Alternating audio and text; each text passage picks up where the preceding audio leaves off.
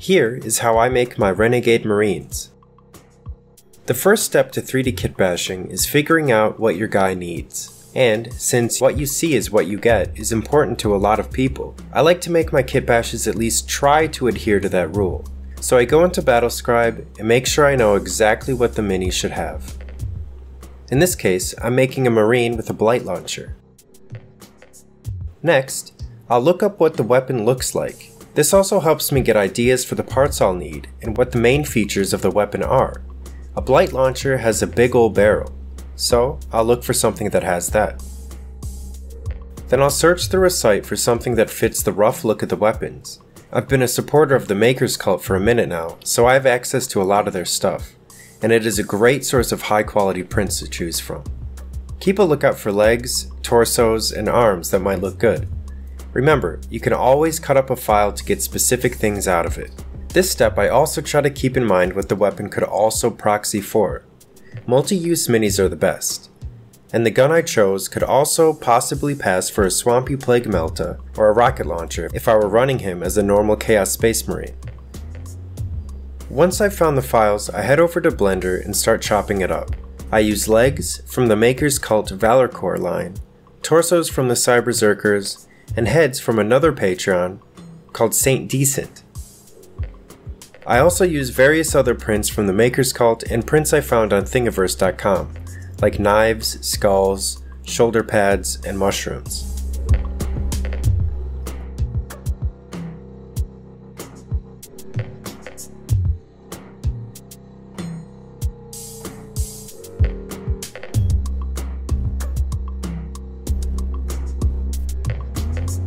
You'll need to scale things up and down so they look natural. My first test prints of these guys were way too big, so I brought in a mini of the right scale, in this case I want them to be roughly the size of a Primaris Space Marine, and use that as a reference.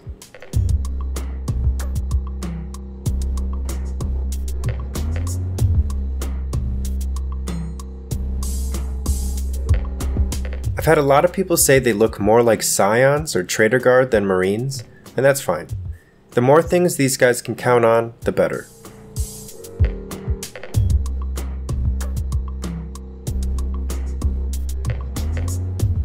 I also added a big barrel on his back. Maybe it could be holding swamp water or something. I don't know.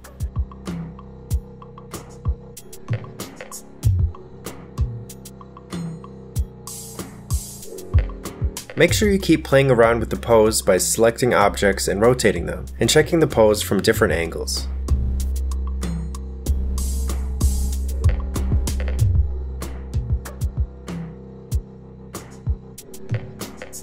I also made a hollowed out 32mm base by taking a base file I found on Thingiverse, copying it in place, scaling it down, and using bool difference to cut out the shape.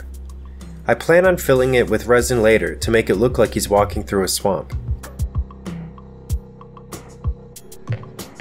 Once you're happy, select the whole mini, export it, and get to printing. Once the mini was printed, I went ahead and put it through my Blanchitsu process.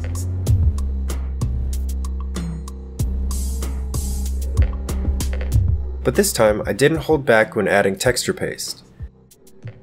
More texture is more good, as the kids say. Zenithal, and you're ready to paint. I'm extremely happy with how this guy turned out. Thanks for watching. Let me know if you have any questions in the comments below. If you enjoyed and want to see more, feel free to like and subscribe. Alright, bye bye.